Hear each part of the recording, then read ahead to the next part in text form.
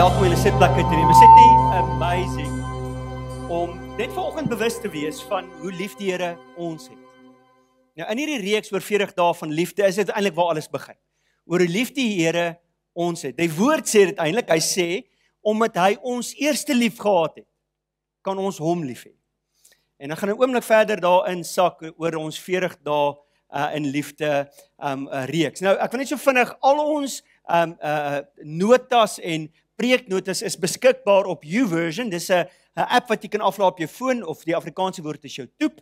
Jy kan hom aflaai op jou foon en dan kan jy daar gaan onder events gaan en daar gaan kyk. Al ons preeknotas is daar ehm um, natuurlik ook beskikbaar. En dan wil ek ook vir jou noem, onder jou stoel is daar Bybels en uh, jy kan gerus daai Bybel gebruik om saam met my te blaai alhoewel daar notas by die deur uitgedeel is. So as jy nog nie notas gekry het nie, jy's gou-gou welkom. Ek kan net kyk waar is iemand wat gou kan help Irma se help. As jy notas gekry het, steek jy jou hand op want al die skrifverse en al die temas en gedagtes op hierdie notas vir oggend en ek gaan vir jou vra om saam met my daardeur te gaan. Jy kan die nota vou lekker in jou Bybel bære en volgende week gaan daar ook notas beskikbaar wees. Hulle gaan in 'n oomblik hou net jou hand op die notas by jou hê. Terwyl hulle gaan die notas uitdeel, net so vinnig Julle het al die manne het 'n blaadjie gekry oor ons movement mannekamp en ons het net agtergekom soos ons dit uitdeel, ons het 'n flatertjie gemaak agter. Nie 'n groot flater nie, maar ons is eintlik Afrikaans, nê. Ons is eintlik Afrikaanse gemeente. Nou sien ek daar agter staan daar Friday and Saturday. Vertaal dit maar net vir jouself. Dis staan eintlik vir Vrydag en Saterdag. Dis maar net 'n glipsie wat deurgekom het. Maar die lekker ding is, die kamp hou 12 uur die Saterdag op, so jy het 'n lekker naweek en ek weet jy's kinders in, maar manne, ons gaan oor seks praat. So ek weet julle wil daar wees. So dis een van die temas sal jy sien daar agter. Dan sal jy sien op die blaadjie is daar so 'n kaartjie wat jy kry soos 'n poskaart. Dit is om mense mee te nooi. Want ons almal is bly en opgewonde oor wat die Here doen in Doksele Langeberg. So as jy mense ken, jy wil graag vir hulle iets in die hand gee en jy soos ek of met nie meer soos Tia wat vanoggend oor haar woorde gestruikel het, is jy welkom om hierdie kaartjie te vat en vir iemand te gee in die hand te sê kom saam met my. Want daar is iets van die Here wat en ek wil net gou miskien kan ek dit getoets. Hoeveel van julle het die Here ontdek in 'n kerk? Nie buite die ek praat van in 'n Sondagbelewenis. Steek jou hand op. Ehm um, so met ander jy het na 'n diens toe gaan, iets het gebeur en die Here het met jou na 'n oomblik in daai diens gepraat. Steek jou hand op. En dit het julle bevang. Kyk gou 'n groot verskil in presentasie mense by 'n plek soos hierdie die Here ontmoet. En dis hoekom dit belangrik is dat ons ook mense nooi. Maar dis nie al nie. Wie van julle het die Here ontmoet in 'n klein groepie, in 'n selgroep? wat beleef die Here praat met jou. Met dit kan nie minder wees nie. Nou hy's. Want dis net so 'n goeie plek waar ons mense blootstel en bekendstel aan die liefde van die Here. So daar's twee omgewings waar binne ek jou nooi om betrokke te raak en mense na toe te nooi is ons sonnagbelewennisse of wat ons noem ons feesdienste of ons klein groepe wat ons noem ons life groups. Dis die twee plekke. Dis waar lewensverandering gebeur. Dis waar transformasie gebeur. Ekskuus, my slides is nog nie lekker op nie. Ek gaan gou-gou vir julle opsit en dan gaan ons aan gaan. Nou verlede week het ehm um, uh uh Antoinette uh vir vier ons reeks afgeskop oor 40 dae van liefde. En sy het gepraat oor dit gaan alles, dit begin alles met liefde oor liefde. En sy het eintlik mooi gewys en daar's die grootste gebod, nê. Nee, Daai grootste gebod wees lief vir God die Vader met jou hele hart, jou hele siel en alles in jou, soos wat ons nou net gesing het, en jou naaste soos jouself. Maar uh, sy het eintlik iets uitgelig wat eintlik briljant is, want want is interessant. Dis nie daai een keer wat Jesus daarna verwys om vir God lief te hê met jou hele uh, siel en alles in binne jou. En daarvan af as hy praat van die grootste gebod, dan sê hy wees lief vir ander. Hoekom? Want daar's 'n ontdekking binne wanneer ek nie God ontdek en hom begin liefhet dat hy ons eintlik vat. Daar's 'n skrifvers wat dit sê en ek gaan dit Engels sê, he compels us the love of Christ compels us to love other people. En ek wil vir jou nooi om daai boodskap te gaan luister op ons YouTube, uh, YouTube kanaal of selfs op Facebook sal hy se wees beskikbaar wees om te volg. En vanoggend wil ek met julle gesels oor om lief te hê soos Jesus jou liefhet om lief te hê soos Jesus jou liefhet en jy sal lief notas by hom. Maar voor ek by dit kom, um interessant genoeg in my hele storie en operasie en alles, mag ek nie swaar goed optel nie. So ek mag glad nie swaar dinge dra nie. So as as julle nou wonder hoekom ek uh, nie alle uh, dinge kan optel en alles, dis hoekom. Maar maar wat gebeur het net so nadat ek hospitaal uit gekom het, seker 'n dag of twee later, gaan ek en Tia en ons gaan koop hondekos. Ons gaan koop hondekos. Dis 'n 25 kg sak. Nou sê ek vir Tia, ek sit in die kar en ek sê, "Jesus, dit gaan mos nou baie sleg lyk." Like. Want, want niemand kan sien ek het 'n operasie gehad en niemand sal weet jy gaan mos nou baie sleg lyk. Hier sit ek in die kar en my vrou Jy het gesien hoe klein sy is. Tel hierdie 25 kg sak hondekos op en sit in die kar. En ek sê vir haar, "Jesus, ek moet ek net my stoel laat plat lê of ietsie." Dit ek ben dit gaan mos nie goed lyk nie. Maar sy het toe 'n plan. Sy het net nie vir my gesê sy het 'n plan nie, maar sy het 'n plan. So sy reverse en nou sit 'n klomp mense so op 'n stoep by 'n takeaways en hulle wag net vir hulle kos. En sy laat sak al twee vensters en sê so kliphard, sy gaan so: "Moet jy nie worry, bly in die kar, ek sal die kos gaan haal." En sy klim uit en sy loop. So sy breek toe die ys onmiddellik en ek sit in die kar en sy gaan haal oh, die onnekas. Vandag gaan ons verder gaan oor om lief te hê soos Jesus ons liefgehad het. En die en die rede hoekom ons 40 dae van liefde doen. Die rede hoekom ons hier oor gesels is een rede. Ons is 'n familie op 'n missie. Dokter Dayo globaal is op 'n missie om te sien dat ons die verlorenes bereik. Die pyn van ons omgewing aanspreek en gebrokenheid sien herstel word. En dis hoekom ons reeks het en dis hoekom ons kursusse het en dis hoekom ons dinge doen. Jy sien want ons het nie 'n program wat ons aanbied sodat jy dit kan bywoon nie. Ek en jy is die program sodat ons kan sien dat ons die verlorenes bereik. Dat ons die pyn aanspreek in ons samelewing. Wat is die pyn? Dit is 10 teen in 'n in 'n skool waar die stelsel nie werk nie of of die polisie alles wat ons kon oor kla in ons samelewing sosiale dienste is dis die pyn en die gebrokenheid is daai gebrokenheid in families en en daar het dis hoekom ons hier is. As jy jouself 'n vernoot noem is jy deel van die antwoord op die probleem. Dis hoekom ons dit doen wat ons doen. Dis hoekom ons preek en dis hoekom ons klein groep het en dis hoekom ons alles doen sodat ons hierdie een missie kan hê. Nou ek wil net vanoggend gevra, wie is vir die eerste keer vanoggend by ons? Wil nie gou jou hand opsteekie. Ons wil net gou vinnig selebreit. Daar's 'n paar hande. Kom ons gee vir hulle 'n hande klap. En baie welkom by ons. Dankie dat julle is. Ek weet daar's 'n paar mense vir die toewyding ook wat hier is. En ek wil vanoggend julle selebreit. Dankie dat julle ons besoek het. Maar daar's iets anders wat ek ook wil selebreit. Vennootskap. Wat's vernoot? Dis iemand wat sê ek vat eienaarskap van hierdie missie. Te sien dit 'n stad verander. Ja, dis groter as ek en jy. Ons kan nou maklik sê ja, maar wat kan ek nou doen? Maar elke persoon wat hier sit, kan 'n verskil bring.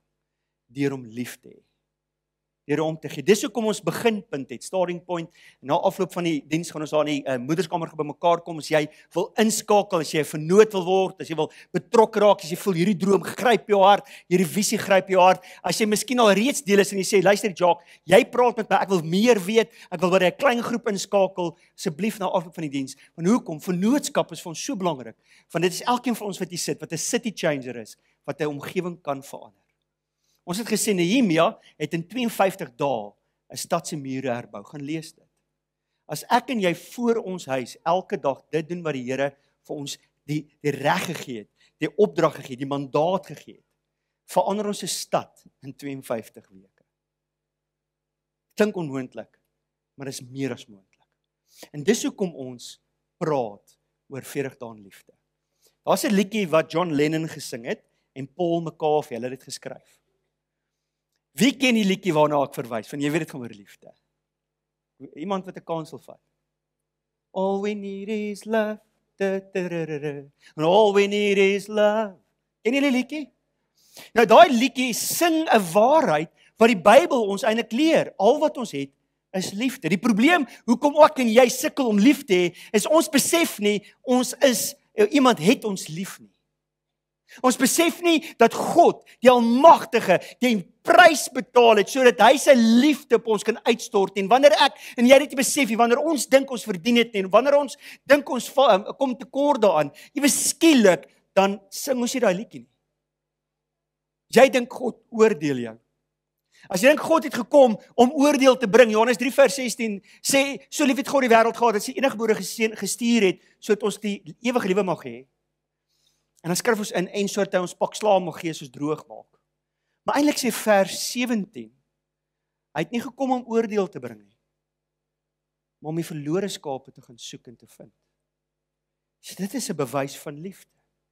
En ek het so bewus geraak van hoekom ons sukkel om lief te hê, is dat ons nie verstaan ons word iemand het ons lief nie.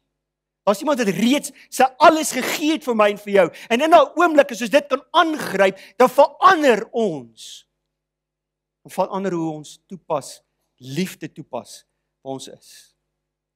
in die omgewing waar ons is. So dit gaan alles oor hierdie missie om die verlorenes te gaan haal, die pyn aan te spreek en die gebrokenheid te herstel.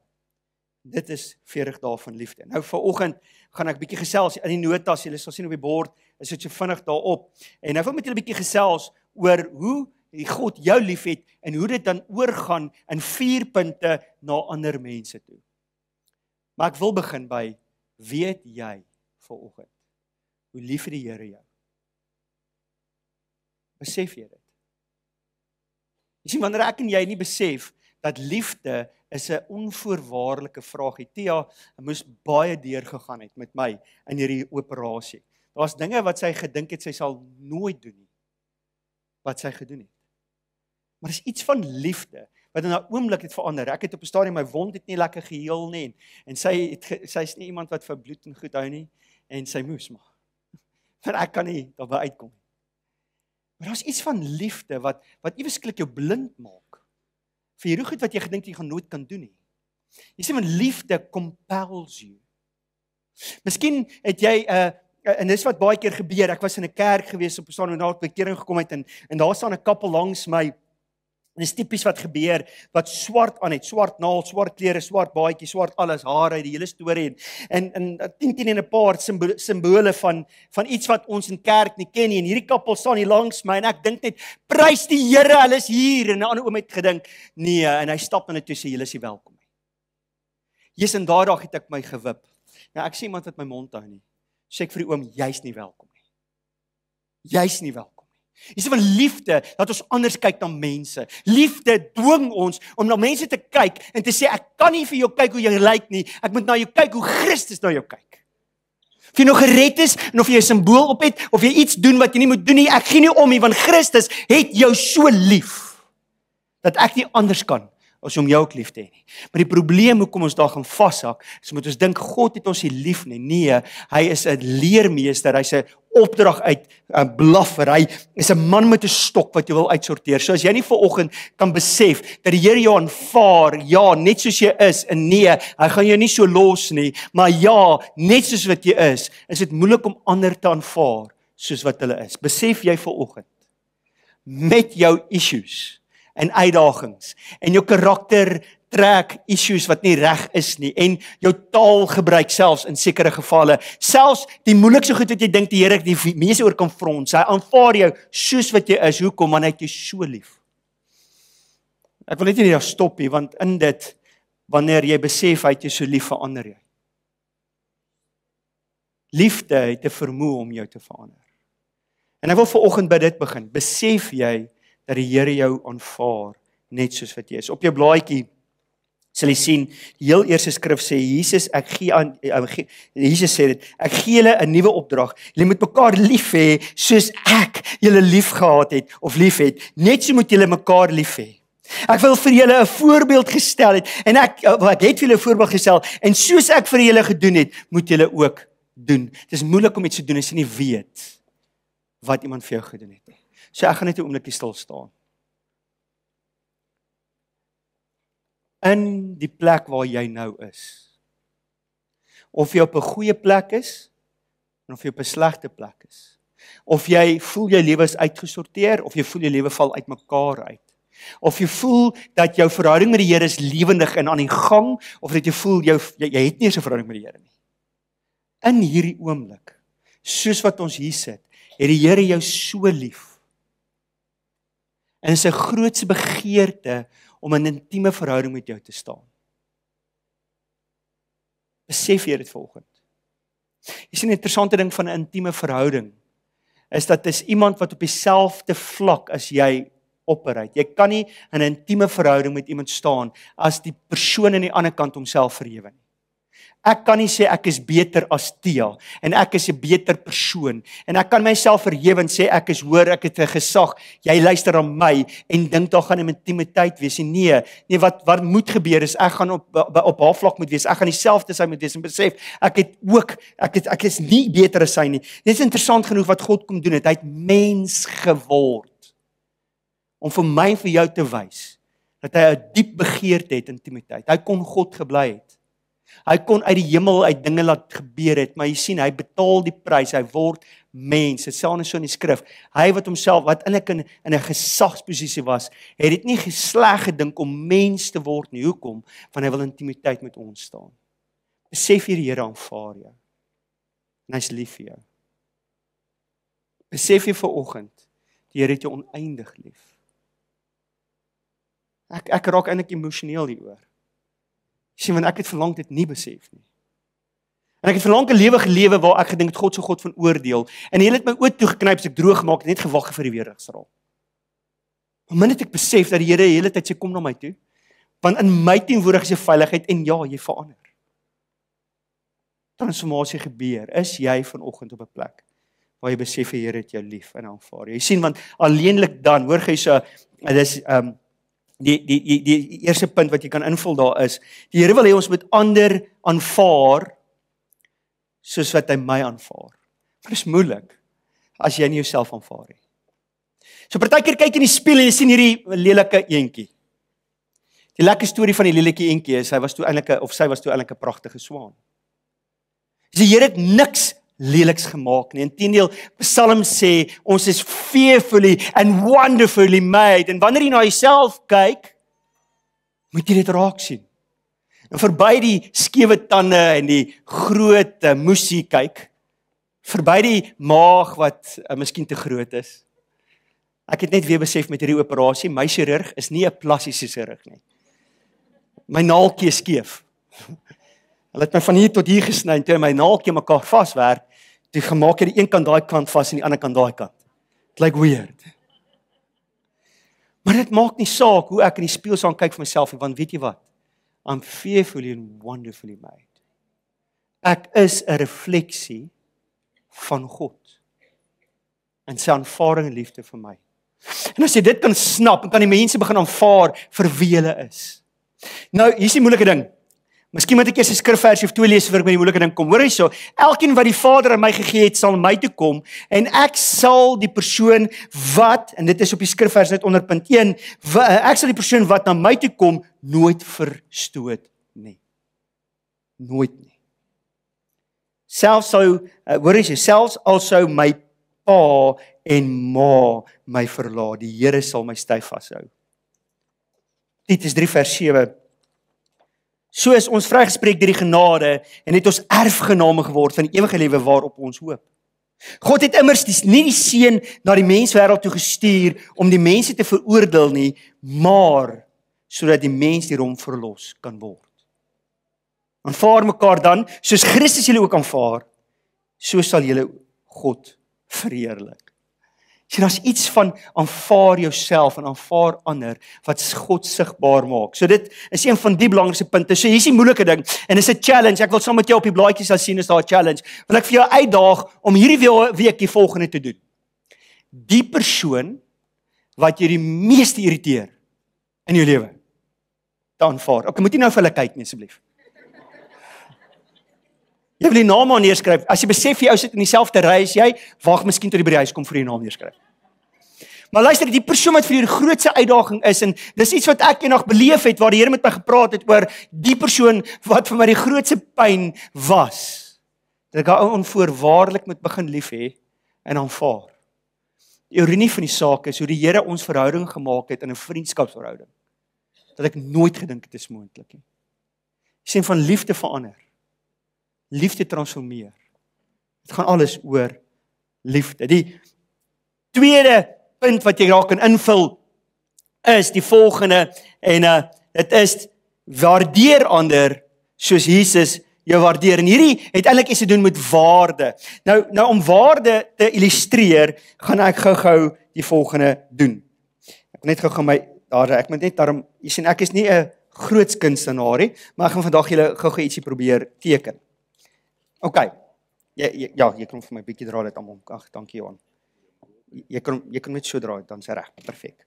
Meeste van ons behoort om nou te kan sien. Ek dink hy gaan so kan julle almal daai kan sien. Julle okay, so hierdie magtige stuk kunswerk wat ek nou gaan teken. O, okay, kom ons kyk of ek dit reg gaan kry. Okay, uh Ehm um, kom ons kyk net daai kant, hy selfde hierdie kant.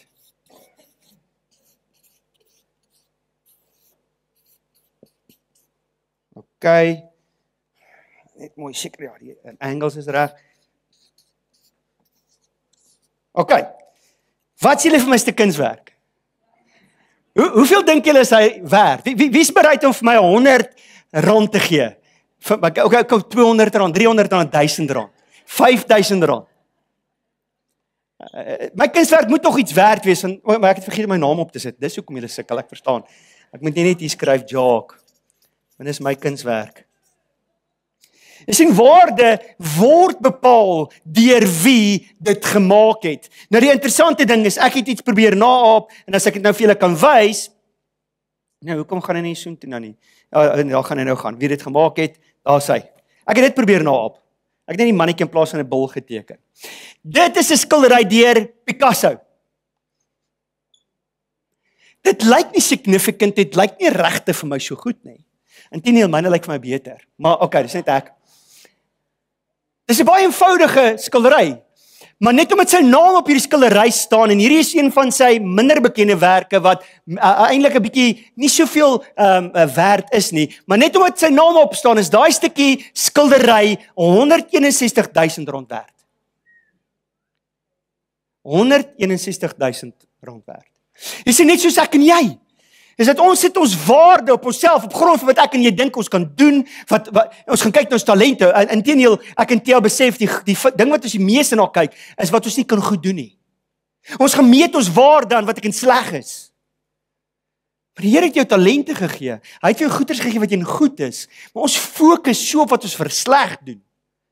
En bepaal ons waarde. En dan kyk ons na daai met daai waarde na ander mense en sê dis wat ek werd is Maar as ek na jou kyk, weet jy wat sien ek? Ek sien Christus se naam op jou. Want Johannes 1 sê in die begin was die woord, die woord was met God en niks is sonder die woord geskep nie. Daar's iets van Christus se naam op jou en dit maak jou oneindig waardevol. Besef jy dit vanoggend? Het jy 'n begrip dat God het soveel waarde in jou gesit toe jy gemaak het? Psalm sê dat die Here het jou mekaar gewewe in jou moeder skoot. So ook ander mense. Wanneer ek na jou kyk en ek kyk deur my tekortkominge na jou, kan ek sukkel om waarde te sien. Dis waar. Maar as ek besef wie die Here my gemaak het, en dis dieselfde waar dit oor jou. Ewe skielik begin ek na mense kyk met ander oë. En ons begin sien hoe ons mense lief kan hê van 'n ander angle af. Want dit gaan nie oor die grootste fout wat jy maak of die die die swakste area van jou lewe nie. Dit gaan oor een ding. Die Here het jou gemaak. Paulus sê so. Hy sê ons kyk nie na ander mense deur menslike oë nie maar deur Christus. Want hy is die bloudruk van die mens. Besef jy vandag hoeveel hoeveel waarde het jy? Besef jy die stempeltjie wat jy nog altyd by jou waarde gesit het? Is nie die een wat jou gemaak het nie. God het jou gemaak. En God het nie foute gemaak nie. As jou ma en jou pa ooit vir jou gesê het jy was 'n glipsie, jy was 'n fout. Wil ek vir jou gou sê God maak nie foute nie. As iemand vir jou gesê het jy gaan tot niks toe in staat wees ooit in jou lewe nie, kan ek vir jou geheim vertel, dis 'n leuen. As jy in 'n ou ouer huis groot geword het waar daar 'n groot verwagting op jou was wat jy net nooit kon uitkom en daarom het jy gevoel soos 'n mislukking, dis 'n leuen. Van God het jou gemaak vir 'n spesifieke spesifieke doel in 'n spesifieke tyd. Hy het jou perfek gemaak soos hy wou hê. Ons moet dit net besef. En op ek kyk na swakhede as 'n verwysing van my waarde. Nou as ons gaan kyk na die skrifvers wat ons hierna verwys is Lukas 12 vers 6 tot 7. Hy sê: "Wat kos 5 mossies, 'n paar sent? Tog vergeet God nie een van hulle nie. Selfs die hare op julle kop is almal getel. Moet dus nie bang wees Julle is vir hom meer werd as julle swerm mossies. So wat vir my belangrik is dat jy hier uitvat is waarde hang af van wie dit gemaak het. en jy's deur God gemaak. Die tweede ding wat waarde ook van afhang is wat jy bereid is om vir dit te betaal. Nou ek dink baie keer het ons 'n stukkie eiendom, jy weet jy daai R5 muntstuk met Mandela se kop in die um in die gebou aan die ander kant en jy dink hy sien net R5 werd nie. Hy moet meer werd wees. En en baie keer kyk ons na goed se waarde, maar 'n interessante ding van 'n item se waarde, dit word nie bepaal deur wat jy dink is werd nie, maar deur wat mense bereid is om daarvoor te betaal. So as ek net my skildery se goeie voorbeeld vat, hy gaan nou buite net my naam op staan, as jy bereid is R5 vir te betaal, is dit wat hy werd. Nou hier is die ding van hoe dit van toepassing op my en jou is. As ons sê ek en jy soveel werd so wat iemand bereid is om te betaal, is ons dan oneindig werd dat God se eie seun die prys laat betaal het sodat ek en jy kan vry wees, sodat ek hom kan aanbid en in intimiteit met hom wees. Hy het mens geword, Jesus. Sodat ek en jy 'n intieme verhouding met die Vader kan hê. Hoeveel is jy dan nie werd? Jy's gemaak deur die Vader. Hy het die prys betaal om dit te kom bevestig oor jou. Hoekom sukkel ons so met waarde? sien dit kom weer terug wat ek gesê het. Ons meet ons waarde aan wat mense gesê het, wat mense gedoen het, ons mislukkings, ons swakhede in plaas oor wat die Here sê. Toe ek matriek besig was om te skryf, ek was nie 'n voorbeeldige seun nie. Ek dink my ouers het hulle bes te probeer om dit reg te kry. So my pa het gegaan van pakslaat tot sielkunde. Maar dit het nie gewerk nie.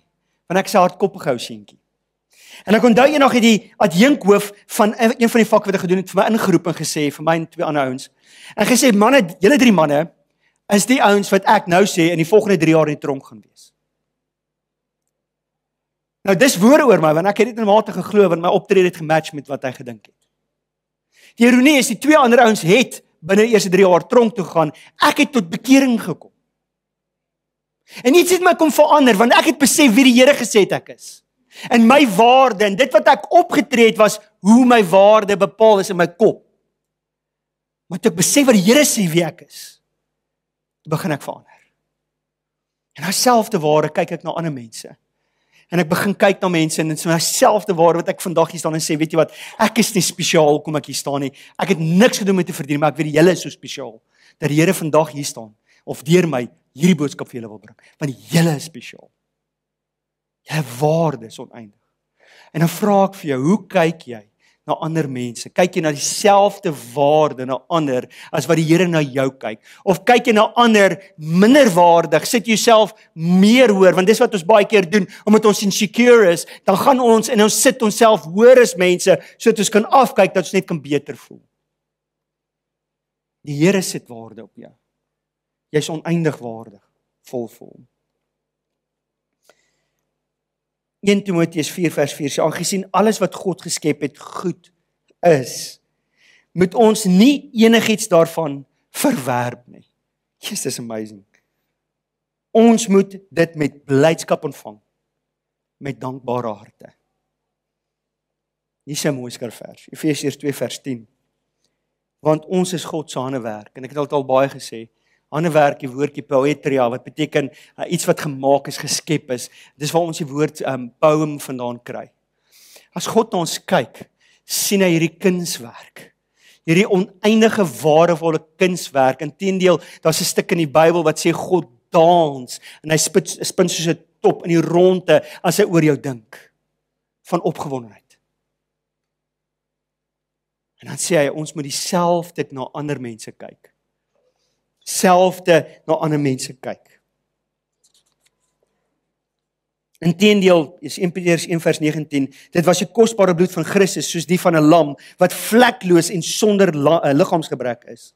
Dis 'n verwysing na ons waarde. Volgende bladsy. 1 Petrus 2:17. Ek wil julle met sommer met my lees. Julle moet sekere mense respekteer. Het ek dit reg gelees?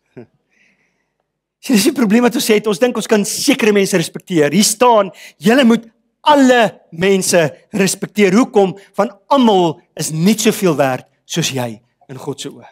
Niemand is minder werd. Inteendeel, wanneer hy ons kom transformeer, want dis wat die kruis kom doen het, hy het ons kom nuut maak. beteken dit jy ou wat nog nie dit beleef het is minder werd nie. Dit beteken juis daai persoon moet dieselfde beleef as jy. Markus 10 lees ons van die jong ryk man wat sê Jesus het hom aandagtig aangekyk en lief gekry. Dis 'n voorbeeld. So hierdie week hierdie week soek iemand wat jy in jou omgewing ken wat 'n lae selfbeeld of lae selfwaarde het en oorval hom met waardevolle woorde. Gaan soek daai persoon wat sukkel met 'n selfbeeld en begin om die positiewe in hom te sien. Dit dat hy goed is. As jy fokus op sy sterkpunte, sal jy sy kop sien begin lig. Ek het vir jare geloop met my kop na die grond toe, mense in die oë gekyk nie. As gevolg van hierdie een ding. Ek nie besef wie ek is nie. Maar toe mense begin sê, "Jock, maar dis wat die Here in jou sien. Dis wie jy is. Dis wat ek in jou sien." My gelaatstrek ook begin verander. So die naam van 'n persoon wat jy wil doen, kan jy daar invul. Dan punt nommer 3. Vergewe ander soos Jesus my vergewe het. Jo. Die een is moeilik. Ek kan nog vir iemand waarde uitspreek en ek kan nog vir iemand 'n bietjie aanvaring gee, maar vriendie waar as 'n ou my nou eers verkeerd opgevryf het. Het jy dit al beleef? Jy jy, jy bære daai in die agterkamer want as hy dit weer doen, gaan jy hom uitsorteer. Nee, jy gaan dit net een keer. Wat sê hulle 'n donkie stamp sy kop net twee keer. Wat? Een keer. Wat? Hoeveel keer? Nie drie keer nie. Maar hier staan dit duidelik in die skrif dat as wanneer ons verstaan dat ons vergewe is. Luister hier, ek wil net mooi sê dit stop nie by vergewe nie. Wanneer dit maar nie net vergewe en op 'n verander. Maar wanneer 'n verkeerde optrede aan my kant toe kom, moet ek eers sien wees wat vergewe. Hoekom? Want ek is vergewe. Inteendeel, en staan nie op jou um, op jou blaai nie, maar 1 Petrus 4 sê dit so mooi, 1 Petrus 4 vers 8 of 18, ek kan nie mooi onthou nie, maar dit sê wees vurig lief vir mekaar. Dit beteken ek gaan werk aktief om liefde vir iemand te kweek. Hoekom? Want dit bedek menige sondes. Daai woordjie in die Grieks, sondes, is nie die algemene Nuwe Testament wie 'n woord vir sondes nie. Dis 'n ander woord. Dit het 'n woord is 'n werkswoord. Dis 'n dade. Met ander woorde, wanneer iemand iets verkeerd doen oor jou doen, as jy hulle vurig liefhet, sal jy nie so groot issue daarvan maak nie. Ek onthou die begin van my en Tia se huwelik, het ek dit nie verstaan nie. En wanneer sy droog gemaak het, het ek dit gaan neerskryf. Regtig? Ons het die 10 gebooie gehad in die huis. Lombard se 10 gebooie. Jy mag nie jou klere op die bed gooi terwyl jy soek wat jy wil aantrek nie. Van 'n bed is gemaak om op te slaap. Regtig, dit was regtig so. Maar daar gebeur iets wanneer liefde groei. En ek wonder wie se klere lê die meeste nou op die bed, myne of hare. Sien, dis iets wat gebeur, jy verander transformasie. En wanneer jy werk aan liefde, bedek jy daai foute. Dit beteken nie jy adresseer nie die foute nie. Maar dit beteken hoe jy daarna kyk is 'n plek van vergifnis. So wanneer jy verstaan jy's vergewe, kan jy vergewe. So hier's die challenge nommer 3. Miskien is daar iemand wat jy moet gaan vergewe. Moet vryspreek. Jy sien, ons lewe in 'n samelewing waar ons emosionele gelaaide omgewing het. En daar sekerre toutjies wat mense nie moet trek of knoppies wat hulle net moet druk nie. En dan maak ons 'n aanname, hierdie ou het my nie gegroet nie want hy dink hy's beter as ek. En ek weet nie hoeveel keer dit al met jou gebeur jy ou sê iets en jy maak 'n aanname en jy dink ja, hy's net daar uit om my te sort, uitsorteer. Miskien het jy ou regtig uitgegaan om jou seer te maak.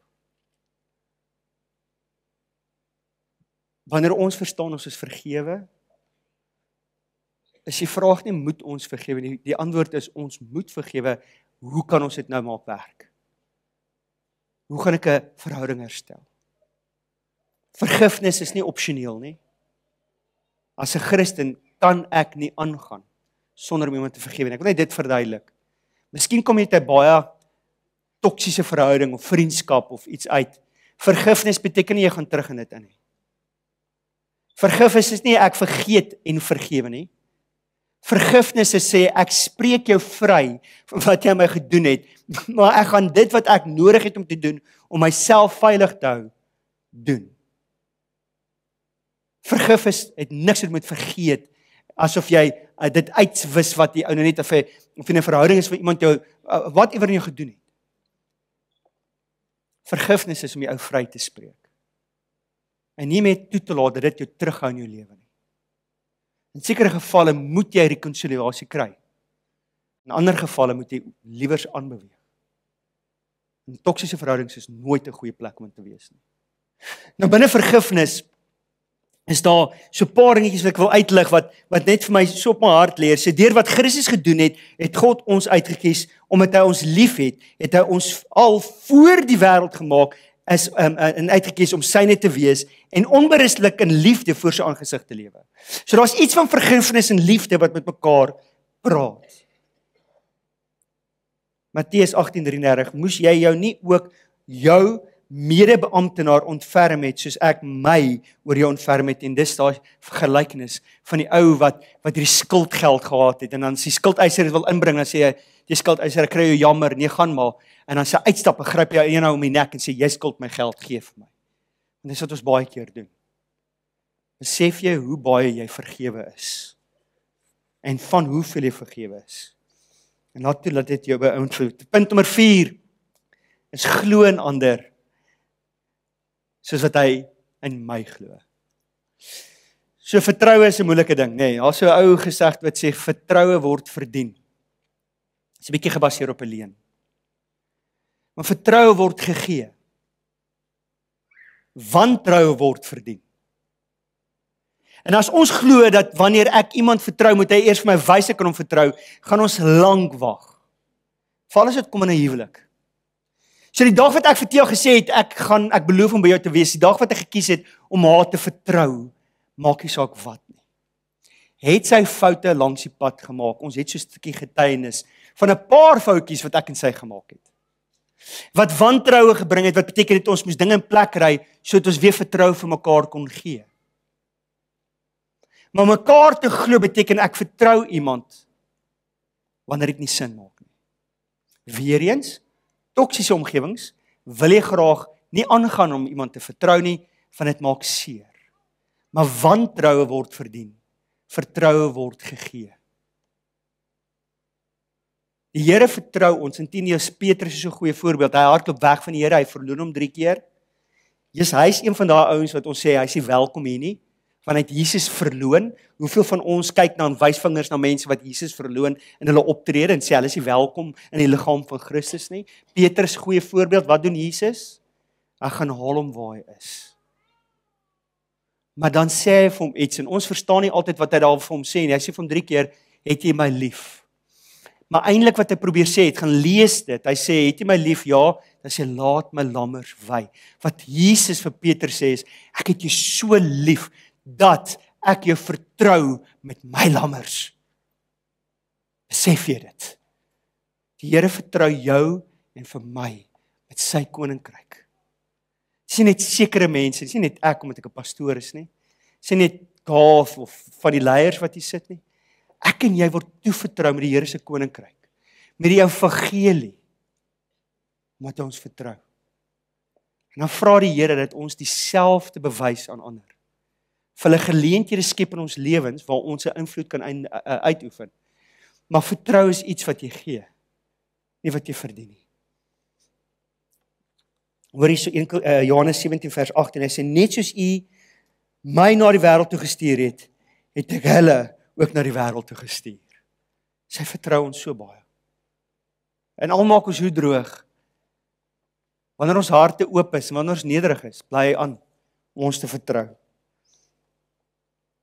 Matteus 17 vers 20 sê julle geloof was nie sterk genoeg nie. Was Jesus se antwoord. Dit verseker ek julle, as julle geloof selfs so klein soos 'n mosterdsaadjie was, sal jy vir hierdie berg sê skuif soontoe en hy sal dit doen. Ja, niks sal vir julle onmoontlik wees nie. As iets van om te glo in iemand, wat daai persoon het jy al ooit beleef dat iemand in jou geglo het?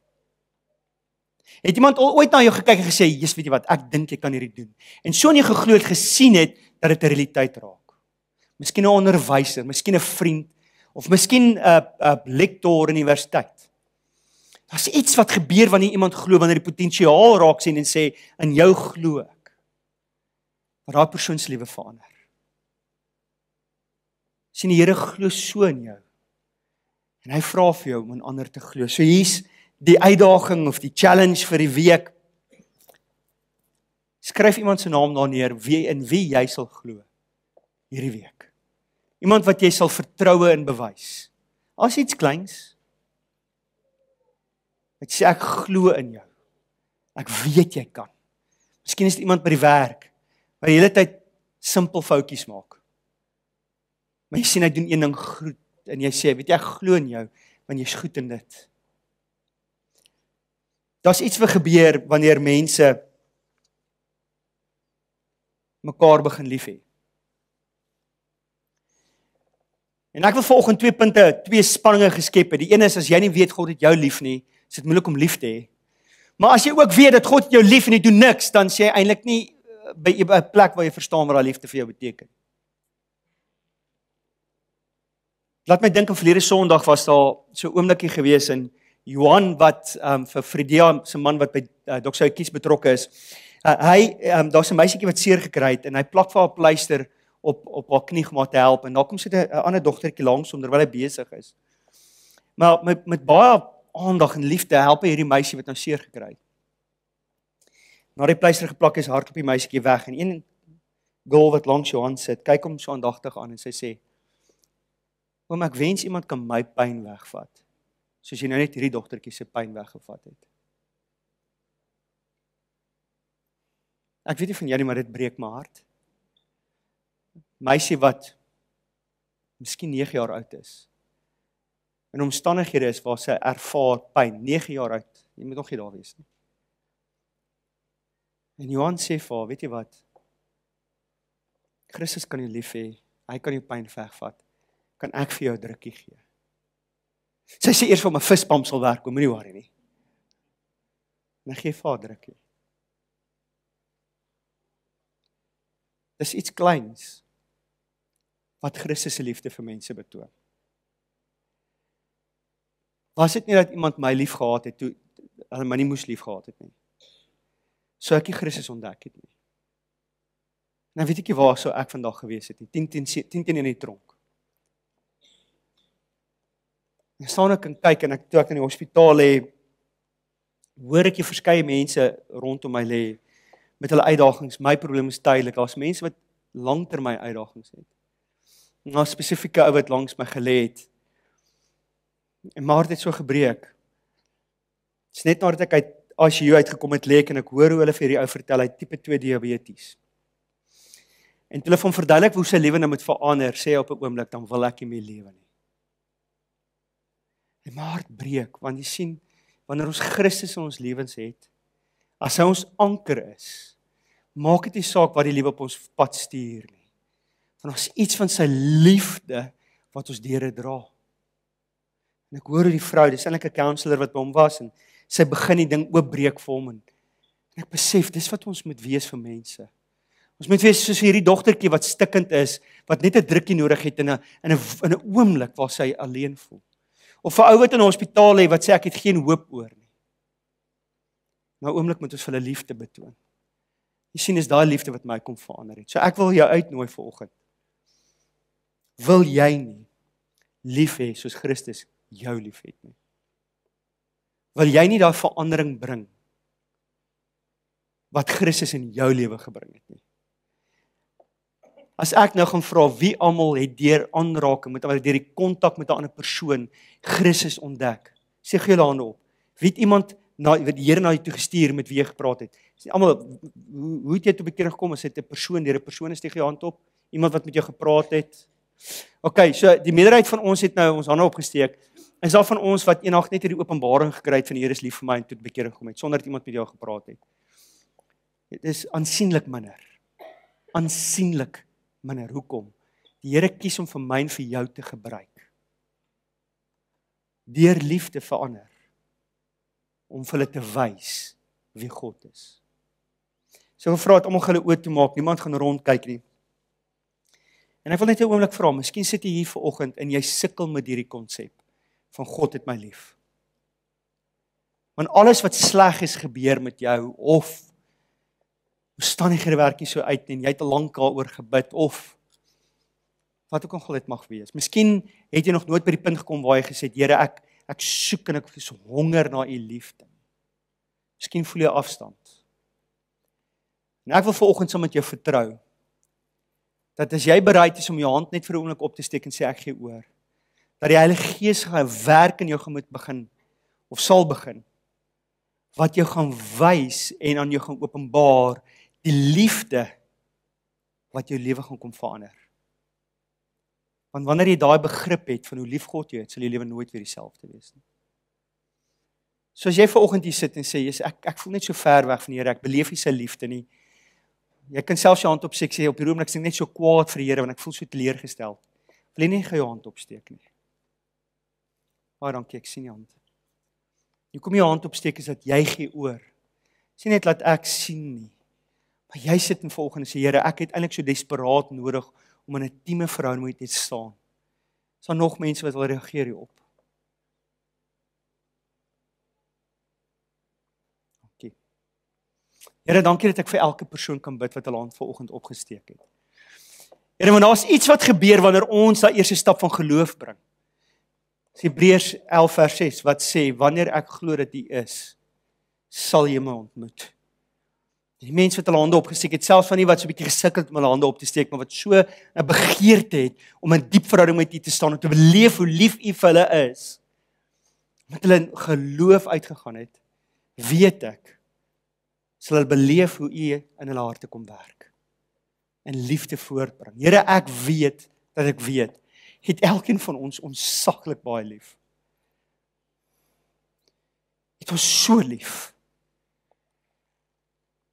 Ek bid dat elkeen dit sal beleef, almal van ons wat hier sit. Elke dag die liefde van Christus that compels us to love others. Ek bid in die naam van Jesus. Here, ek bid vir mense wat U nog nie ken nie. En ek het diep begeerd om meer mense te sien wat wat hier kom sit en sê ek weet nie wie's Christus nie. Ek weet nie wie's God nie. Maar ek wil bietjie hoor hieroor. Here, ek bid vir sulke mense wat miskien vanoggend hier sit wat nog al buite is wat ons nog gaan in die toekoms gaan kom soek en ek bid Here dat U in hulle harte sal begin werk. Miskien sal iemand op livestream wat sê dis waar hy is. Here, ek bid dat U in hulle harte sal kom openbaar die diepte, die wyte, die hoogte van die liefde vir hulle. Dat hulle lewens net nooit weer dieselfde sal wees nie.